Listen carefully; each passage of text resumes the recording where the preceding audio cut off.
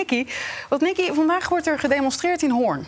Door mensen die per se willen dat het standbeeld van JP Koen blijft staan. En door mensen die per se willen dat hij weggaat. Twee demonstraties dus uh, vandaag. En uh, ja, dat zorgt voor een bijzonder tafereel op dat plein. Het rood, bij de Rode Steen is dat. Daar staat het standbeeld. Maar omdat daar heel veel horecazaken omheen zitten... die daar hun terrassen hebben... Eh, worden er maar slechts zes mensen van beide groepen toegelaten daar. Die mogen daar dan een kort statement maken. En vervolgens is de demonstratie op een andere plek in Hoorn... waar in totaal nu zo zo'n 600 mensen uh, verwacht worden. Zij zijn uh, op allebei op een andere locatie en allebei op een ander tijdstip om de groepen in ieder geval uit elkaar te houden. Onder het devies Stop de genocideverheerlijking uh, eisen de tegenstanders dat het beeld weggaat. En de groep Koen is oké, die zegt juist op te komen voor onze cultuur, tradities en erfgoed. Nou, in San Francisco heeft de gemeente besloten om het beeld van Christopher Columbus weg te halen.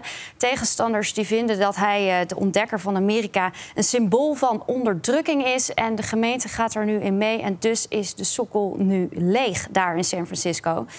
Gisteren werd in eigen land het standbeeld van diezelfde JP Koen, die VOC-vaarder waar we het net over hadden, bij de beurs van Berlage in Amsterdam uh, beklad. De directeur van het uh, chocolademerk Tony Chocoloni werd, aange werd uh, aangehouden vanwege die bekladding. Burgemeester Halsema zegt dat ze het smakeloos vindt, maar gaat geen aangifte tegen hem doen. Ja, Frits, het is toch de bekladding van een gemeentelijk monument. En Halsema doet geen aangifte. Wat vind je daarvan? Ja, en ik begrijp dat het ook niet zozeer een echt protest is, maar meer een soort reclamecampagne. Maar er staat wel Black Lives Matter bij, dus... Ja, maar als je dat er dan bij zet, is het opeens een actie... en dan mag je opeens je eigen merk erbij eh, zetten. Dat zou ik, ik vind het een beetje goed... Maar vind je dat Halsema aangifte had moeten doen? Nou, als je weet wie het is... En, en, uh, en hij bekladt zomaar uh, de beurs van Berlage. Wat, Berlage is een zeer belangrijk architect geweest, zeker voor Amsterdam ook. Met de Amsterdamse school en het plan Amsterdam.